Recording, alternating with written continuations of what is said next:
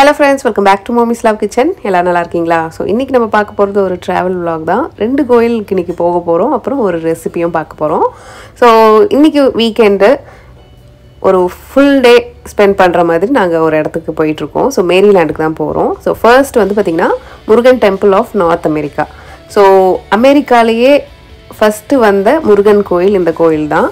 So என்ன தான் வந்து எல்லா வகையான கோயிலுக்கு போனாலும் தமிழ் கடவுளான முருகர் கோயிலுக்கு போகிறதுன்றது எப்போவுமே ரொம்ப ரொம்ப ஸ்பெஷல் ஒரு சவுத் இந்தியாவுக்கு போயிட்டு வந்த ஒரு ஃபீல் இருக்கும். ஏன்னா அந்த சாமியெல்லாம் பார்த்திங்கன்னா நம்ம தமிழ் சாமிகளாக இருக்கும். ஸோ ஒரு நம்ம ஊருக்கே போயிட்டு வந்த ஒரு ஃபீல் ஒரு திருப்தியும் கிடைக்கும். ஸோ வெளியே பார்த்திங்கன்னா இந்த மாதிரி தான் இருக்கும். நிறைய படிக்கட்டுகள்லாம் இருக்கும். ஸோ படிக்கட்டு ஏறி சாமி பார்க்க வேண்டியதான் ஸோ ஆஸ் யூஷுவல் எந்த கோயிலுக்குமே வந்து பார்த்திங்கன்னா உள்ளே வீடியோ எடுக்க விட மாட்டாங்க. ஸோ எனக்கு நெட்டில் ஏதாவது பிக்சர்ஸ் கிடச்சிச்சின்னா அதை நான் அட்டாச் பண்ணுறேன் ஸோ இந்த கோயில் வந்து பார்த்திங்கன்னா நைன்டீன் நைன்டி நைனில் வந்திருக்கு. ஸோ அப்போலேருந்தே இந்த கோயில் இங்கே இருக்குது. ஸோ மேரிலேண்ட் வந்தீங்கன்னா கண்டிப்பாக இந்த கோயிலுக்கு வந்து பாருங்கள் ஒரு நல்ல ஒரு ஃபீல் இருக்கும். ஸோ இப்போ நம்ம உள்ளே போக போகிறோம் ஸோ இதோடு நான் அப்படியே கட் பண்ணிக்கிறேன். ஸோ மூலஸ்தானம் பார்த்திங்கன்னா இந்த மாதிரி தான் அழகாக இருக்கும். ஸோ இது வந்து நெட்லேருந்து எடுத்த பிக்சர் ஸோ கோயிலேருந்து வந்துட்டு நெக்ஸ்ட்டு கோயிலுக்கு போகிறோம் ஒரு ஃபைவ் மினிட்ஸ் ட்ரைவ்லேயே வந்து ஸ்ரீ சிவா விஷ்ணு டெம்பிள்னு ஒன்று இருக்குது ஸோ இதுவும் மேரிலாண்டில் தான் இருக்குது ஸோ யூஎஸில் வந்து பார்த்திங்கன்னா பெரிய கோயில்களில் இதுவும் ஒரு பெரிய கோயில். ஸோ நிறைய சாமி உள்ளே இருப்பாங்க. இங்கே இருக்கிற சாமியோட ஸ்பெஷாலிட்டி என்னென்னு பார்த்தீங்கன்னா சிவாவும் இருப்பார். விஷ்ணு வந்து அந்த அனந்த பத்மநாபன் படுத்த மாதிரி இருப்பார் இல்லையா? அந்த மாதிரி சிலை இருக்கும். ரொம்ப அழகாக இருக்கும் பார்க்குறதுக்கு. ஸோ இப்போ கோயிலுக்கு வந்தாச்சு. ஸோ இதோடு அப்படியே கட் பண்ணிவிட்டு சாமியை கும்பிட்டுட்டு நல்ல பசி வந்துருச்சு. ஸோ லஞ்சுக்கு வந்து பார்த்திங்கன்னா என் பையனுக்கு puri and uh, paneer gravy இருக்குது அப்புறம் சாம்பார் சாதம் ரொம்ப நல்லாயிருக்கும் இங்கே. அப்புறம் புளியோதரை. எல்லா கோயில்லையும் புளியோதரை கண்டிப்பாக நல்லாயிருக்கும் அப்புறம் போண்டா மிக்சர் அப்புறம் வீட்டுக்கு எடுத்துகிட்டு போக லட்டு. ஸோ நல்லா சாப்பிட்டுட்டு நெக்ஸ்ட்டு மேரிலேண்ட்லேயே வந்து பார்த்திங்கன்னா ஒரு ட்ரெயிலுக்கு போகிறோம். ஏன்னா ஒரு ஹோல் டே ஸ்பெண்ட் பண்ணணும்னு முடிவு பண்ணிட்டோம். ஸோ கோயிலுக்கு முடிச்சுட்டு நெக்ஸ்ட்டு ஒரு டூ த்ரீ ஹவர்ஸ் இருக்கிறதுனால அப்படியே அங்கே பக்கத்தில் ஒரு ட்ரெயில் போகலாம் ஒரு நல்ல ஒரு வாக் போகலாம் அப்படின்ட்டு அப்படியே பக்கத்தில் போனதில் வந்து நம்மளுக்கு படி அட்டிக் பார்க்னு ஒன்று இருக்குது ஸோ இது வந்து பார்த்திங்கன்னா லேக் பார்க்கு ஸோ லேக்கை சுற்றி ஒரு பெரிய ட்ரெயில் இருக்கும். ஸோ அந்த ட்ரெயில் கண்டிப்பாக ஒரு மூணுலேருந்து நாலு கிலோமீட்டர் வரைக்கும் இருக்கும். ஸோ அது அப்படியே ஒரு வாக் போயிட்டு நல்லா டைம் ஸ்பெண்ட் பண்ணிவிட்டு வீட்டுக்கு கிளம்ப வேண்டியது தான் ஸோ இன்றைக்கி வந்து பார்த்திங்கன்னா ஆக்சுவலாக ஃபாதர்ஸ் டே ஸோ நிறைய uh, குரூப்ஸ் இருந்துச்சு. நல்ல பெரிய பார்க்கு ஸோ நிறைய குரூப் ஆஃப் பீப்புளாக இருந்து ஃபாதர்ஸ் டே செலிப்ரேட் பண்ணிட்டு இருந்தாங்க. ஸோ ஃபாதர்ஸ் டே இங்கே மோஸ்ட்லி எப்படி செலிப்ரேட் பண்ணுவாங்கன்னு பார்த்தீங்கன்னா அன்றைக்கி வந்து மெயினாக பார்பிக்யூ இருக்கும். அதெல்லாம் அந்த அப்பாக்கள் தான் செய்வாங்க. ஸோ ஃபாதர்ஸ் டேக்கும் அவங்க தான் செய்கிற மாதிரி இருக்கும். ஸோ நல்ல ஒரு ஃபுட்டு அப்புறம் கேம்ஸு அப்புறம் சும்மா அப்படி கெட் டுகெதர் மாதிரி வச்சுருப்பாங்க. ஸோ அப்படியே நாங்கள் கொஞ்சம் கொஞ்சமாக உள்ளே போயிட்டு நல்ல ஒரு வாக்கு ஸோ இந்த சைடில் பார்த்தோன்னா ஃபுல்லாக லேக் இருக்கும். ஸோ சம்மரில் வந்து மெயினாக எல்லாரும் போகிறது வந்து பார்த்திங்கன்னா இந்த மாதிரி ட்ரெயில்ஸ் போவாங்க. இந்த மாதிரி காடு மாதிரி இருக்கும். அதுக்குள்ளே நடந்து போகிற மாதிரி இருக்கும். பட் இது வந்து ஆக்சுவலாக காடு கிடையாது. பார்க்க ஆனால் நல்லா பசுமையாக இருக்கும். ரொம்ப அழகாகவே இருந்துச்சு. ஸோ இப்போ நான் உங்களுக்கு அந்த லேக் காமிக்கிறேன். ஸோ ரொம்ப பெரிய லேக் தான் இது. நல்லா லில்லிஸ்லாம் பூத்துருந்துச்சு. ஸோ அழகாக அப்படி காமாக இருக்கும்.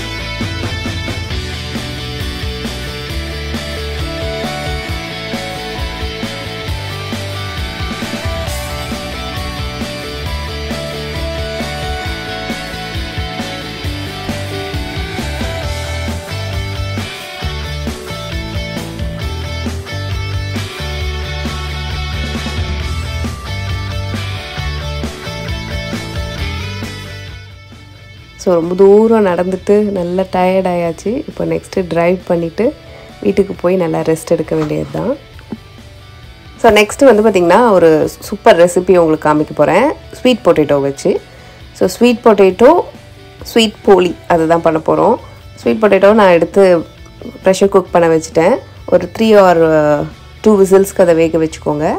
அப்புறம் ஒரு ரெண்டு கப் அளவுக்கு மைதா மாவு ஒரு பிஞ்ச் அளவுக்கு உப்பு ஒரு பிஞ்ச் அளவுக்கு மஞ்சத்தூள் ஹாஃப் டீஸ்பூன் அளவுக்கு நெய் போட்டு நம்ம மாவு பிசைஞ்சிட வேண்டியது தான் ஸோ மாவு வந்து பார்த்திங்கன்னா கொஞ்சம் லூஸாக தான் இருக்கணும். ஸோ யூஸ்வலாக போலிக்கு நிறைய எண்ணெய் ஊற்றுவாங்க பட் நம்மளுக்கு ரொம்ப தேவை இருக்காது. மாவு கரெக்டாக பிசைஞ்சோனாலே நம்மளுக்கு கரெக்டாக வந்துடும் ஸோ இப்போ மாவு பிசைஞ்சாச்சு.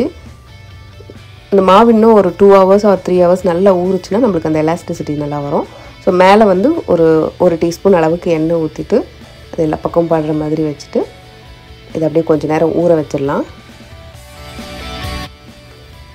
ஸ்வீட் பொட்டேட்டோ வெந்துருச்சு. இது வேக வைக்கும் போது தண்ணி ஊற்றாமல் அதாவது குக்கரில் வைக்கிறீங்க அப்படின்னா தண்ணி ஊற்றி ஸ்டாண்ட் வச்சு ஒரு பாத்திரத்தில் வைங்க. டைரெக்டாக தண்ணி ஊற்றி வேக வச்சிங்கன்னா நம்மளுக்கு குள குளன்னு ஆகிடும் ஸோ நம்மளுக்கு பூரணம் அளவுக்கு கரெக்டாக இருக்கணும்னா இந்த மாதிரி தண்ணி ஊற்றாமல் வேக வச்சுட்டு தோல் எடுத்து இந்த மாதிரி திருவிக்கோங்க.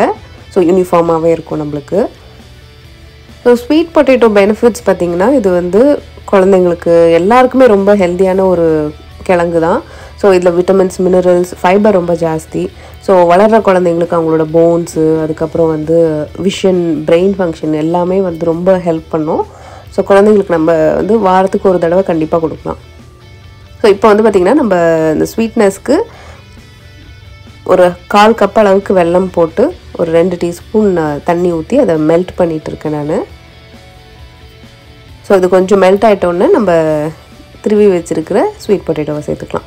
ஸோ ஸ்வீட் பொட்டேட்டோலேயே கொஞ்சம் இனிப்பு இருக்குன்றதுனால நம்ம அளவாக பார்த்து நம்ம சேர்த்துக்க வேண்டியது தான் ஸோ பூரணத்தில் உங்களுக்கு தேங்காய் போடணும்னு நினச்சிங்கன்னா தேங்காவும் நீங்கள் தேங்காய் துருவலாகவும் நீங்கள் போட்டுக்கலாம்.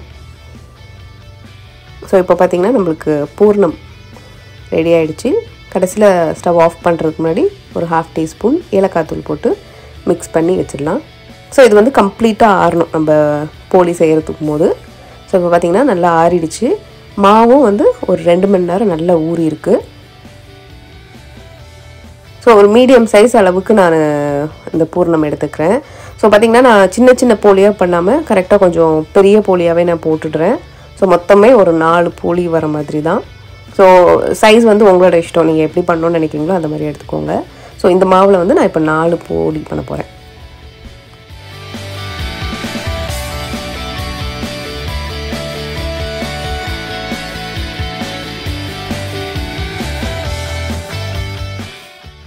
இப்போ நம்ம போலி தட்டுறதுக்கு நான் இன்றைக்கி இந்த பார்ச்மெண்ட் பேப்பர் எடுத்திருக்கேன். அதில் லைட்டாக நம்ம ஆயில் தடவிப்போம். ஸோ ரெண்டு ஷீட்டாக எடுத்துக்கோங்க. ஸோ ஃபஸ்ட்டு நம்ம இந்த மேல் மாவை எடுத்துகிட்டு லைட்டாக ஸ்ப்ரெட் பண்ணிவிட்டு உள்ளே நம்ம பூர்ணம் வச்சு மூட போகிறோம் ஸோ ஆயில் வந்து உங்களுக்கு ரொம்ப கம்மியாக தான் தேவை இருக்கும். நிறைய போடணும்னு அவசியம் கிடையாது. ஸோ ட்ராப் ட்ராப்பாக கூட நீங்கள் சேர்த்துக்கலாம்.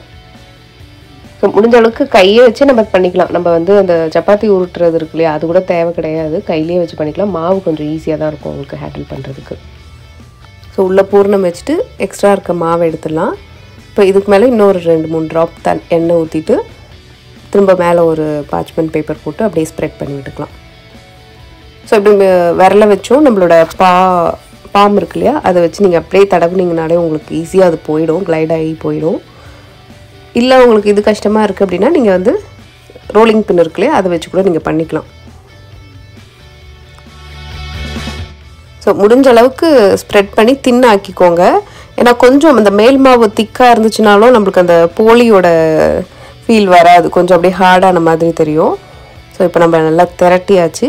இப்போ டைரெக்டாக இந்த ஷீட்டோடையே எடுத்து நம்ம தோசைக்கல் சூடு பண்ணி அதில் போட்டுடலாம். ஸோ இந்த ஷீட் வந்து நம்ம போடுறதுனால ஒன்றும் பிரச்சனை கிடையாது. ஏன்னா அது ஏற்கனவே அது பேக்கிங் ஷீட் தான் அது. ஸோ இப்போது அதை போட்டுட்டு நம்ம ரெண்டு பக்கமும் சுட்டு எடுத்துட வேண்டியது தான் ஸோ நம்ம தின்னாக தான் போட்டுக்கோம் ஸோ ரொம்ப நேரம் ஆகாது நம்மளுக்கு இது வேகிறதுக்கு.